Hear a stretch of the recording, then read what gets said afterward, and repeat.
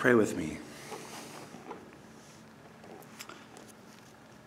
Merciful Lord, grant to your faithful people pardon and peace, that we may be cleansed from all our sins and serve you with a quiet mind.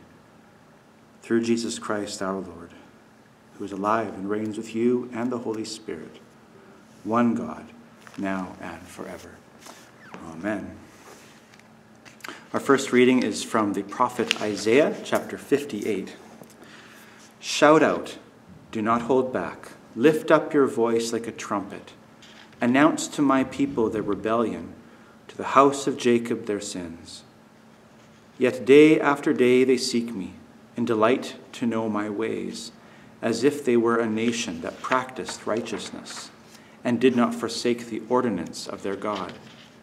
They ask of me righteous judgments. They delight to draw near to God. Why do we fast, but you do not see? Why humble ourselves, but you do not notice? Look, you serve your own interest on your fast day and oppress all your workers. Look, you fast only to quarrel and to fight and to strike with a wicked fist. Such fasting as you do today will not make your voice heard on high. Is such the fast that I choose, a day to humble oneself? Is it to bow down the head like a bulrush and to lie in sackcloth and ashes? Will you call this a fast, a day acceptable to the Lord? Is not this the fast that I choose? To loose the bonds of injustice, to undo the thongs of the yoke, to let the oppressed go free, and to break every yoke? Is it not to share your bread with the hungry and to bring the homeless poor into your house? When you see the naked, to cover them, and not to hide yourself from your own kin? Then your light shall break forth like the dawn, and your healing shall spring up quickly. your vindicator, shall go before you. The glory of the Lord shall be your rear guard. Then you shall call, and the Lord will answer. You shall cry for help, and he will say, Here I am. If you remove the yoke from among you, the pointing of the finger, the speaking of evil. And from James 2, verses 14 to 26. What good is it, my brothers and sisters, if you say you have faith, but do not have works? Can faith save you? If a brother or sister is naked and lacks daily food, and one of you says to them, Go in peace, keep warm, and eat your fill, and yet you do not supply their bodily needs, what is the good of that? So faith by itself, if it has no works, is dead. But someone will say, You have faith, and I have works. Show me your faith without works, and I, by my works, will show you my faith. You believe that God is one. You do well. Even the demons believe and shudder. Do you want to be shown, you senseless person, that faith without works is barren? Was not our ancestor Abraham justified by works when he offered his son Isaac on the altar? You see that faith was active along with his works, and faith was brought to completion by the works. Thus, the scripture was fulfilled that said, Abraham believed God, and was reckoned, it was reckoned to him as righteousness, and he was called the friend of God. You see that a person is justified by works and not by faith alone. Likewise, was not Rahab the prostitute also justified by works when she welcomed the messengers and sent them out by another road? For just as the body without the spirit is dead, so faith without works is also dead. And from Luke 10, verses 25 to 42. Just then a lawyer stood up to test Jesus.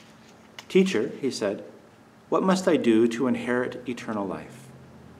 He said to him, What is written in the law? What do you read there? He answered, You shall love the Lord your God with all your heart, and with all your soul, and with all your strength, and with all your mind, and your neighbor as yourself. And he said to him, You have given the right answer. Do this, and you will live. But wanting to justify himself, he said to Jesus, And who is my neighbor? Jesus replied, A man was going down from Jerusalem to Jericho and fell into the hands of robbers, who stripped him, beat him, and went away, leaving him half dead. Now by chance a priest was going down that road, and when he saw him, he passed by on the other side. So likewise a Levite, when he came to the place and saw him, passed by on the other side. But a Samaritan, while traveling, came near him and when he saw him, he, moved, he was moved with pity. He went to him and bandaged his wounds, having poured oil and wine on them. Then he put him on his own animal, brought him to an inn, and took care of him. The next day he took out two denarii, gave them to the innkeeper, and said, Take care of him, and when I come back, I will repay you whatever more you spend. Which of these three do you think was a neighbor to the man who fell into the hands of robbers? He said, The one who showed him mercy. Jesus said to him, Go and do likewise. Now, as they went on their way, he entered a certain village, where a woman named Martha welcomed him into her home. She had a sister named Mary, who sat at the Lord's feet and listened to what he was saying. But Martha was distracted by her many tasks. So, she came to him and asked, Lord, do you not care that my sister has left me to do all the work by myself? Tell her then to help me. But the Lord answered her, Martha, Martha, you are worried and distracted by many things. There is need of only one thing. Mary has chosen the better part, which will not be taken away from her. This is the gospel of Christ. Thanks. Praise to you, Lord Jesus Christ. So, we are continuing our Epiphany sermon series today. We are dealing with questions that have come from the congregation. And today's question is why do so many people focus on themselves and their relationship with God rather than on Jesus' message to love others and strive for equality and justice, etc.? Where did things go wrong? Is it that humans are inherently selfish and that was the purpose of Jesus' message? to try to counter that? So that's the, the question. So the question is essentially has to do with um, people overly focusing on their relationship with God, and it seems like the question is implying that, that, that uh, there needs to be more focus on, on issues of justice. So I think this is an issue of balance. Um, on one extreme, um, and this is implied in the, in, the, um, in the question, is that we can worship, we can um, focus on our relationship with God in a way that we ignore justice. And this is what Isaiah is talking about in our reading today. The people are worshiping, they are fasting, they are praying, they're doing kind of all the right things in terms of religious duties, but they feel that God is not connecting with them. And through Isaiah, God points out that they are oppressing their workers, they're quarreling, they're fighting. And then he says, is not this the fast that I choose? To loose the bonds of injustice, to undo the thongs of the yoke, to let the oppressed go free, and to break every yoke? Is it not to share your bread with the hungry and bring the homeless poor into your house? When you see the naked, to cover them, and not to hide yourself from your own kin? Then you shall call, and the Lord will answer. You shall cry for help, and he will say, Here I am. So Jesus echoes this when he says, uh, so when you are offering your gift at the altar, so this is worship, it's the middle of a, a ritual, right, a religious ritual. If you remember that your brother or sister has something against you, leave your gift there before the altar and go first be reconciled to your brother or sister, and then come and offer your gift. This is Matthew 5 23 to 24. So if we are not doing something about injustice, then this has an effect on our worship. Jesus is saying. And our reading from James points this out as well. What good is it, my brothers and sisters, if you say you have faith but do not have works? Can faith save you? If a brother or sister is naked and lacks daily food, and one of you says to them, Go in peace, keep warm, eat your fill, and yet you do not supply their bodily needs, what is the good of that? So by faith itself, if it has no works, is dead. So, so faith by itself, if it has no works, is dead. But someone will say, You have faith and I have works. Show me your faith without works. And I, by my works, will show you my faith. You believe that God is one, you do well. Even the demons believe and shudder. For just as the body without the spirit is dead, so faith without works is also dead. So our faith should express itself through works towards those, especially who are in need. We might also point to Matthew 25, where Jesus judges the nations on the basis of how they treated him through how they treated those who are in need, and he separates the nations into sort of sheep and goats, right? Um, and we can look in, in, our own gospel reading where we have the parable of the Good Samaritan. Uh, Jesus makes the hero of the, of the parable to be a Samaritan, and as Samaritans were essentially considered heretics. And this was a mixture of a, mixed with a kind of racism as well. Um, in the parable, this hated Samaritan was the one who did good to the Jewish man when the, all the sort of good religious people walked right past him. And so the Samaritan was the hero of this parable, not the religious people who refused to get involved. And so uh, we have the, these examples from, from Jesus, and there is a lot of support in Scripture for the idea that we are to be a people of justice. You know, we could point to all kinds of other passages that, that point to this. And we know that we haven't done this perfectly. Uh, Christians have done some pretty nasty things. Um, the Christian message doesn't transform societies overnight, and it doesn't make the, a mean person good overnight either. Uh, but we do want to recognize that, that Christians have acted for justice throughout the centuries, and this should inspire us. Christians gave dignity to people who weren't valued in ancient societies. Uh, Christians created housing for the poor. They founded public hospitals. Often the Christians in ancient Rome were the ones going into plague areas to help those who were in need. They founded orphanages for children whose parents had died they, or who were abandoned. Um, they created public schools, they uh, created homeless shelters, they started soup kitchens, medical missions, relief organizations. Um, the ending of slavery was spearheaded by Christians, and it first took hold in, in Christian majority countries. Even the concept of human rights and economic and social justice can be argued to have their roots in Christian ways of thinking. Um, for example, the belief that every human being is made in the image of God and therefore has intrinsic value, and that God identifies with the poor and the valuable, as we've, uh, sorry, the poor and the vulnerable, as we, we heard in our readings. So these are thoughts that have been, that have, they've dramatically changed the way human beings are, are valued in comparison to many ancient societies.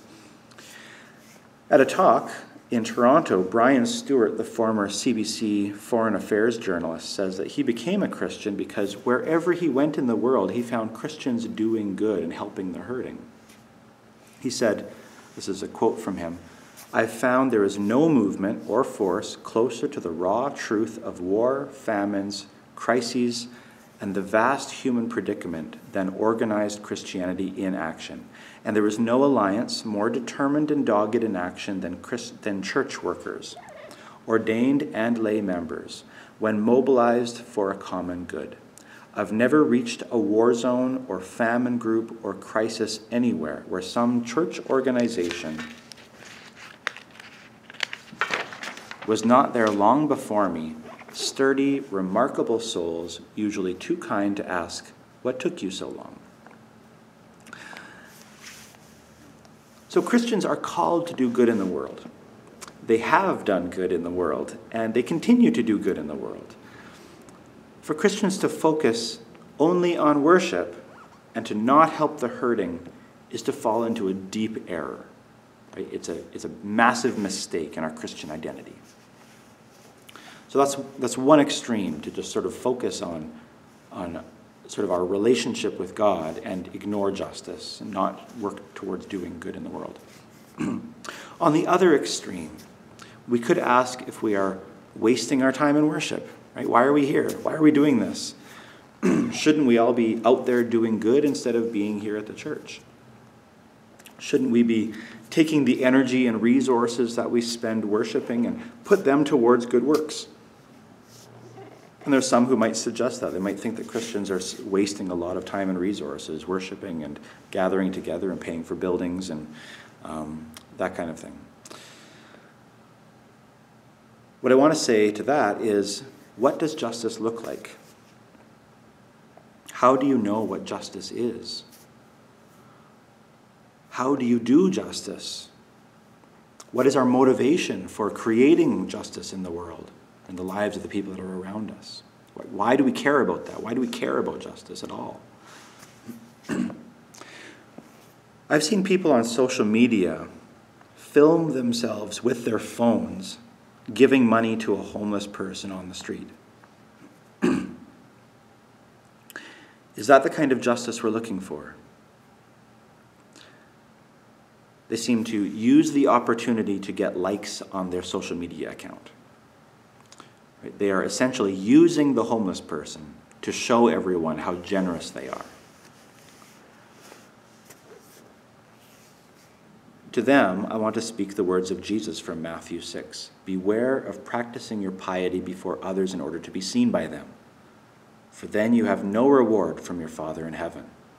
So whenever you give alms, do not sound a trumpet before you as the hypocrites do in the synagogues and in the streets, so that they may be praised by others. Truly I tell you, they have received their reward. But when you give alms, do not let your left hand know what your right hand is doing, so that your alms may be done in secret, and your Father who sees in secret will reward you. This is Matthew 6, verses 1 to 4. Moving on to something a little bit more serious, the communist regimes that plagued the world in the 20th century, these regimes were motivated by some sense of justice. It was done in the name of justice. Right? Lenin's USSR, Pol Pot's Cambodia, Mao's China, and the present North Korean regime, they were attempting to incarnate Marx's idea of justice, which is that the, the poor workers would be elevated and that people would, would, be, would live in equality, would live in equity. They're trying to create a just society.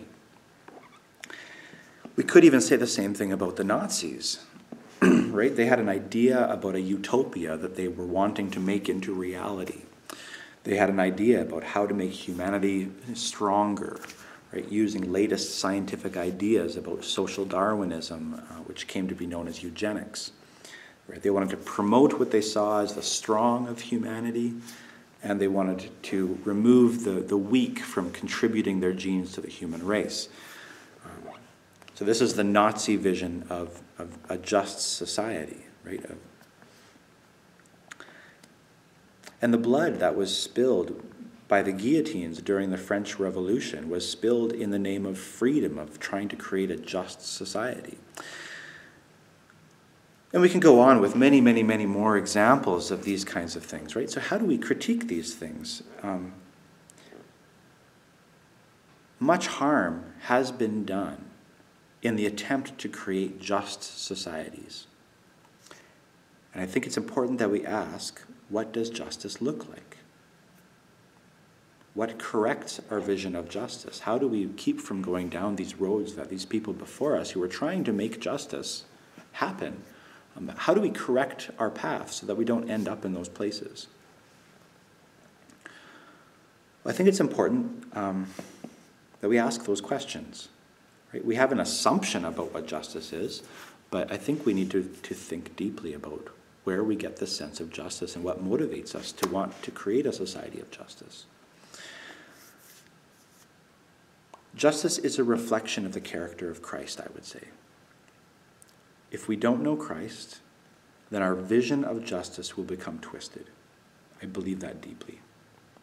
And I know that's not a popular thing to say right now, but I think it's very, very true. When we look at Christ, we see justice. When we love Christ, we have a motivation for doing justice. The other part of our gospel reading shows Mary sitting at the feet of Jesus, listening to what he was saying. Her sister Martha is busy with many, many things, um, and she was frustrated that her sister wasn't helping her. And Jesus responds to Martha's frustration by saying, Martha, Martha, you are worried and distracted by many things. There is need of only one thing.